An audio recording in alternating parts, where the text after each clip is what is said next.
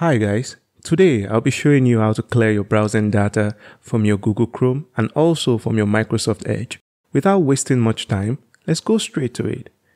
You want to go to your Google Chrome, on the top right here, select this three dots, History, left click on History. On the left side of your screen, you want to select Clear Browsing Data. Left click on that. This pops up. And here, what you have here at the top part is all time. If you open this, this gives you a chance to actually choose the last hour, last 24 hours, seven days, or last four weeks. But here we just select all time. You select all time, it's going to clear all the browsing data regardless of the time. And before we do this, let me show you the advanced option here. Go down then you see this password and all the sign-in data. So when you check on this, it's going to delete all your passwords that has been saved on your browser. All right. But I'm not going to do that now. I'm going to uncheck it. Similar with the autofill form, we all encounter when you're typing on your browser and suddenly it brings out your details.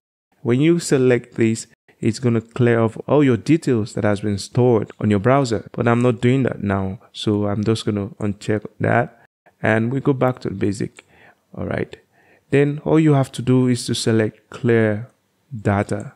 If you go back here you see that this place is empty. Your browsing history appears here. So that is it about the google chrome. Now we're going to go ahead and close this. And we go to microsoft edge.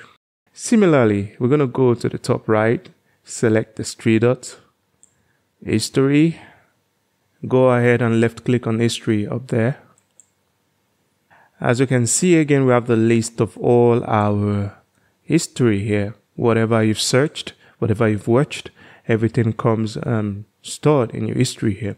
Now you're going to go up here this time and select clear browsing data. Alright, as we did before in Google Chrome, this is just about a similar thing, okay?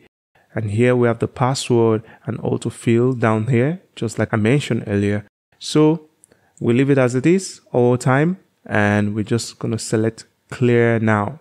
And if we look back again, you're going to see that this place is empty, which means all the history has been cleared. To add to this, guys, it's very important to clear your browsing data often because it's good for your safety, your privacy, and also you clear a lot of junk files and cache files from your browser and it improves the general performance. So that's it guys. Thank you for watching.